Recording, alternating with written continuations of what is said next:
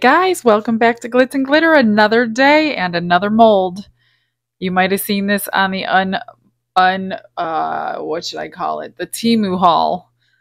The unveiling of the Temu haul. The last one, I think it was on the last one. And this little mold came in and it's getting close to the 4th of July. So I'm going to get this one filled up and I'm going to use blue and red alcohol ink, both by Mod Podge and this one's called navy blue. This one's called red. I am going to put the red in these stripes. And I'm going to put the blue around these stars. I don't know if you can see the stars. I'm going to put this red, white, and blue star glitter in the words. And it's going to be a super, super thin layer. I need to clean that out first. So it's going to be a super thin layer and then I'm just going to fill the rest up with white. That way when you see the rest of it will be white when we unmold it. So let me get some resin mixed up. I shall be right back. I've mixed up 30 milliliters of resin. I'm just going to split this between three. This is way, way more than I'm going to need because I'm barely going to be putting anything on the bottom of this. So I'm just going to split it up into three. One for the red, one for the blue, and one for the glitter. So it's definitely more than enough. So I'm just going to add red and blue until I'm happy with the opacity of it, which I kind of want pretty red. I might even add some pigment. Oh, I hate I hate mixing in these cups because they're ribbed and I completely forgot to pick a different cup. So if you have these, I don't know if you like them, but I don't like them because the ink gets stuck. The ink gets stuck in there. And if you want to test your color, just test it on a piece of paper towel. That's not too bad. I'll add a couple more drops.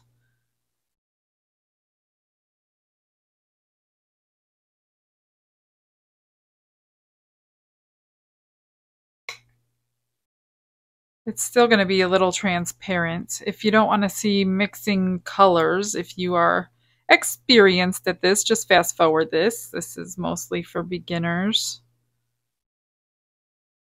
So, eh, a little bit more red.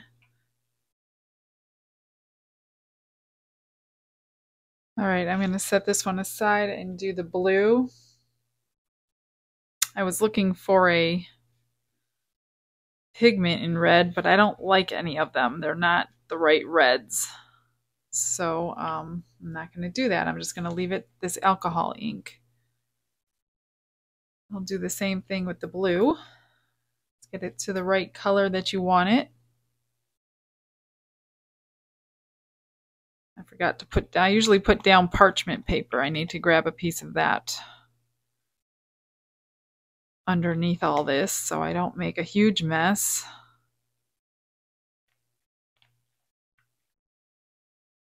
Well, that came out my nice and dark the first time. Perfect. Set that aside.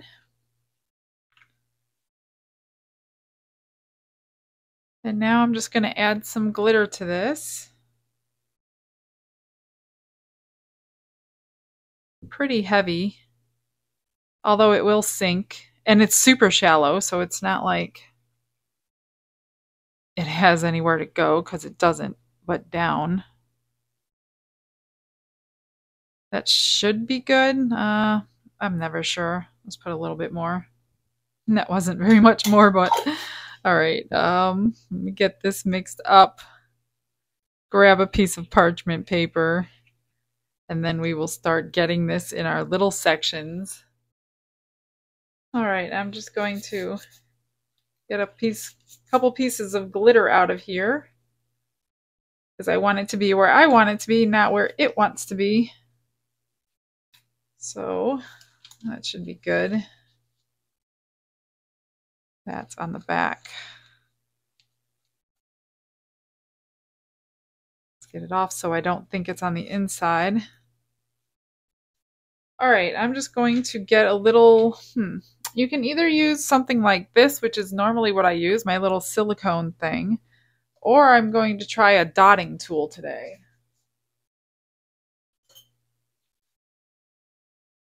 Which is this. And basically, I will zoom in for you. You just drop these colors in the places around. I mean, this one can actually be kind of dripped in and then moved around, I hope, I think. It's really hard to see, so bear with me. It's not going to just go everywhere because it will stop where the mold stops. Just stick it in and move it around.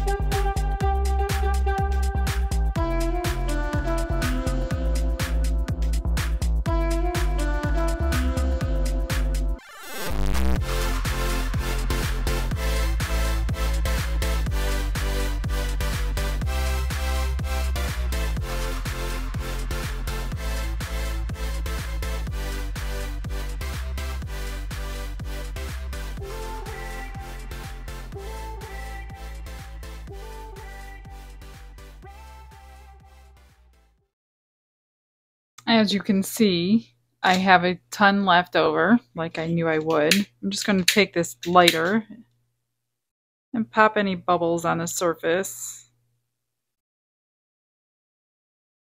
I don't want to use a torch in here. It doesn't stay on very good because I have my ceiling fan on in here. So I just, my dotting tool works really well. And I have all different sizes. I have like five of them so I use this super skinny one to get into that back line. So now I'm just going to do the red. I will try to do it so you can see.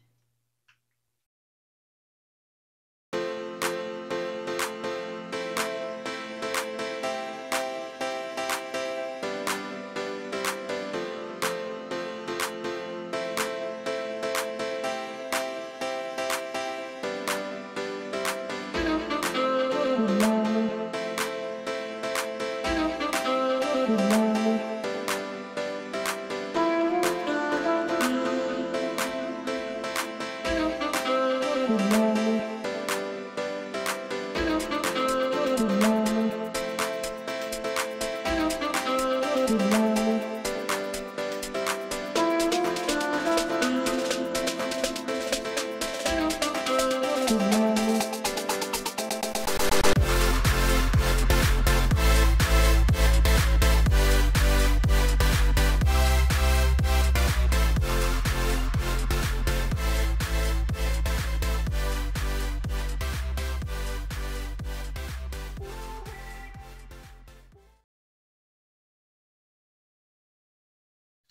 Hope I wasn't blocking that the whole time. I apologize if I was.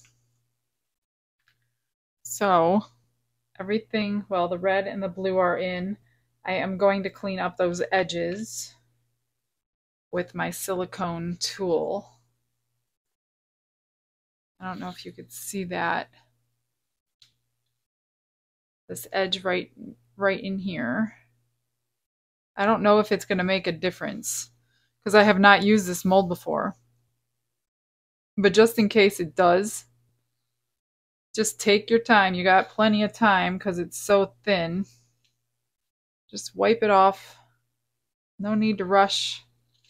I don't like wasting resin. I don't like a bad piece at the end because I didn't take my time.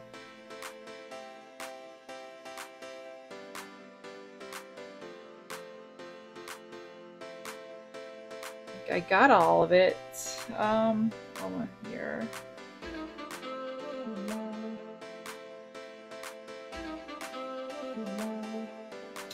Yeah, I'm trying to get in this little corner where I over poured.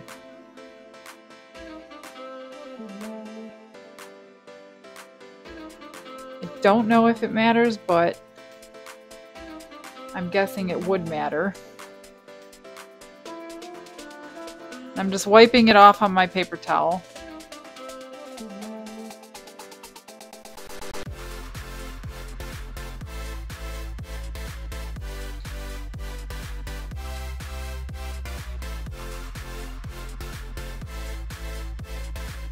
until it's gone.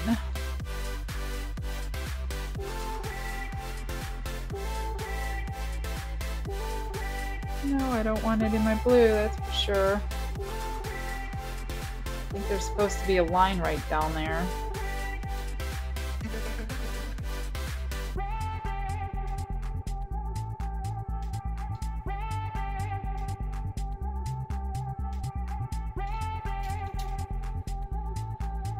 That looks pretty clean.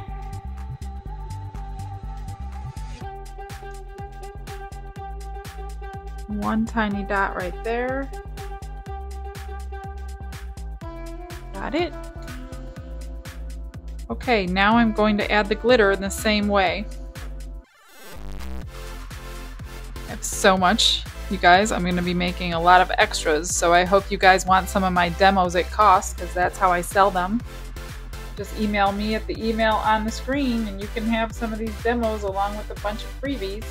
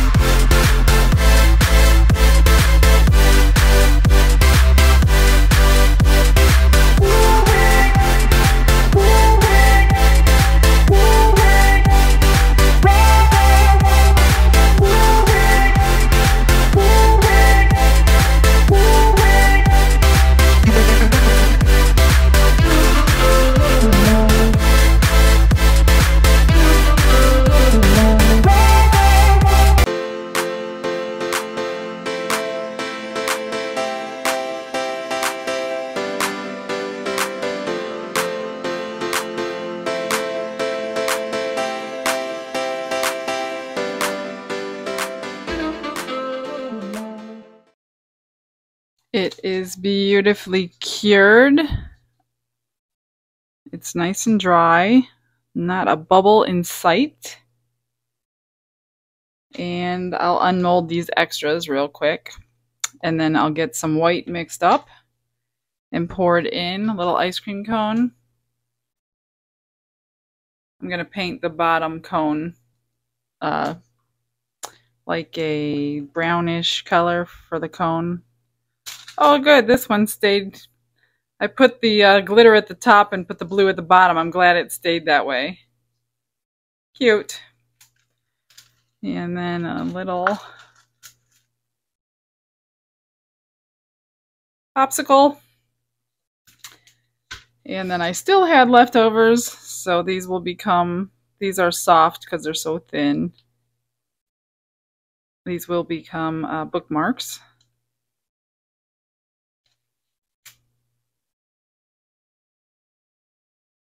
Transparent. They need a couple days to get hard, but they do get hard.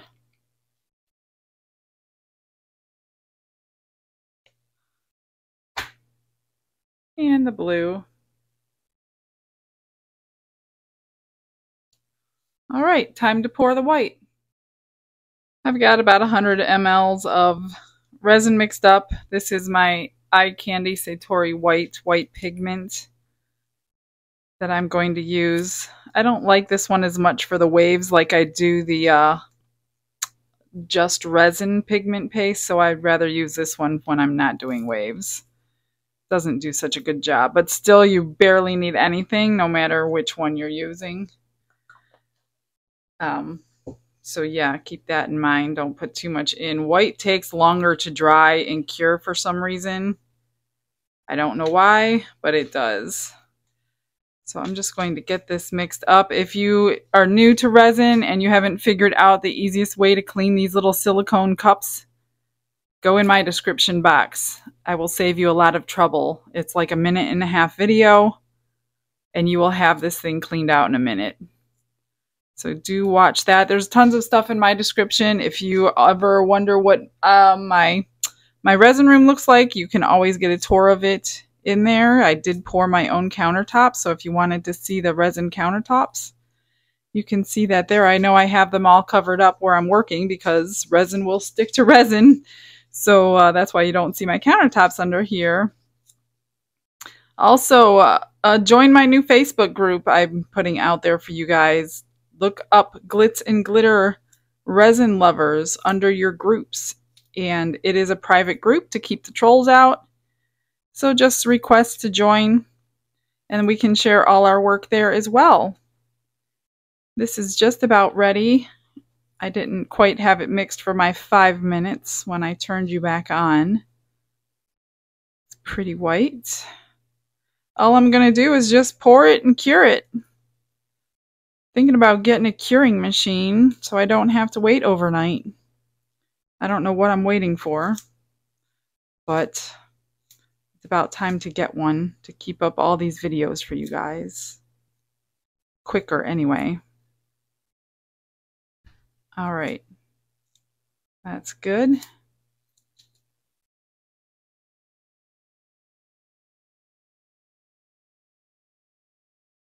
However thick it is, it is. I'm not trying to fill this one up. It's kind of thick. This one went about two-thirds of the way.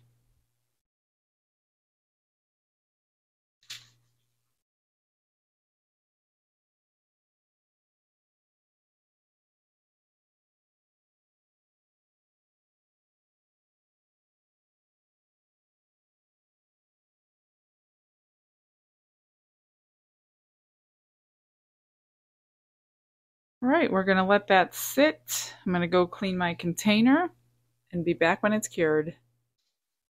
It's time to demold, guys. It's been about 12 hours. It's pretty solid. I see a piece of glitter got in the back, but that's okay. It's the back.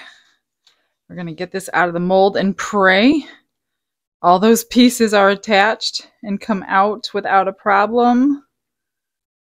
Please, I hope. Okay, well, it's a little stained, but everything came out. Okay, ready? Oh, oh, the only thing I see is that little spot right there. A little bit of blue, but other than that, oh my gosh, it looks amazing. I could probably sand that down a bit. The words came out good. See, when you take your time and you get every little spot perfectly, there's a tiny bit up here that got in the red. You can even go over it with another layer of white and that would shine it up a little bit more. It's not super shiny. That has a little bit of spotting on it. I'm not sure where that came from though. I don't know if you could see it in there. But I think all in all, pretty cool. Pretty good mold. So I'll think about what I'm going to do with that. Um, if any of you wanted it cost, I would obviously cover that up with some white for you so you don't see it. So thank you guys for coming in today. I do appreciate every single one of you, especially the subscribers. If you have not become a subscriber, please do. It does help me out tremendously to keep making videos. And I will see you guys tomorrow. You guys have a blessed day. Bye-bye.